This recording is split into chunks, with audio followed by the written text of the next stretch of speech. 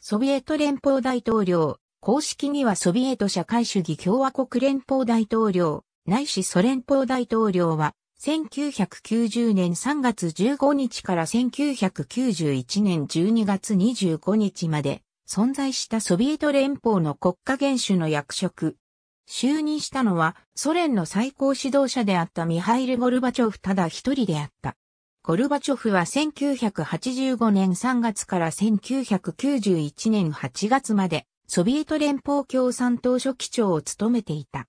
彼は1991年8月のクーデターで共産党書記長を辞任するまで強大な権限を有していた。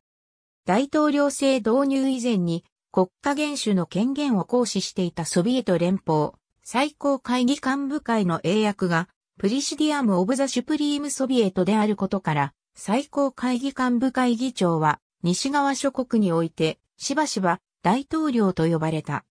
しかし、最高会議幹部会議長は、儀礼的、象徴的な意味合いが強い名誉職的な地位であり、ソビエト連邦の歴史の大部分において、政治的な実権は、ソビエト連邦共産党書記長が握っていた。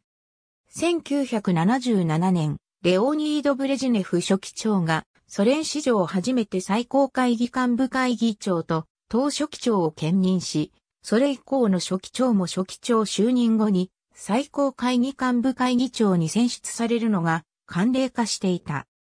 共産党書記長、最高会議議長のミハイル・ゴルバチョフによるペレストロイカのもと、旧体依然としていた連邦最高会議を中心とした国家機構改革の総仕上げとして、1990年3月に招集された第3回人民大議員大会で採択されたソビエト連邦憲法改正法案で、ソビエト連邦大統領はそれまでの最高会議議長に代わる国家元首として位置づけされた。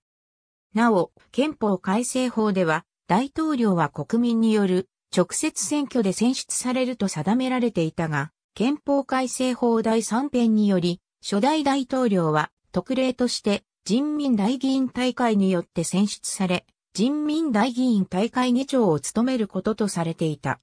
そのため、憲法改正法の議決に伴って行われた大統領選挙ではゴルバチョフが人民大議員2245人中1329人の支持を獲得し、大統領に選出された。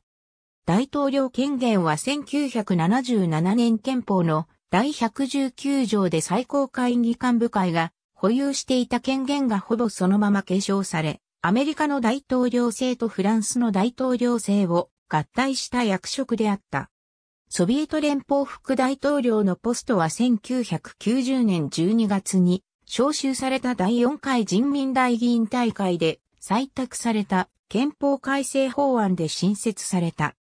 憲法改正法の規定で、副大統領は大統領権限の一部を大統領から委任され、大統領が欠けた場合、または職務を遂行できない場合には、大統領代行として大統領権限を一時的に行使することが認められた。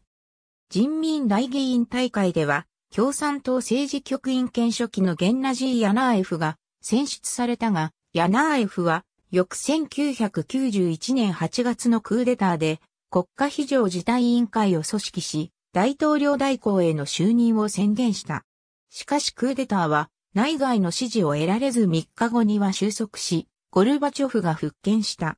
なお、副大統領のポストはクーデターの失敗を受けて1991年9月に招集された第5回人民大議員大会の決議で廃止された。ありがとうございます。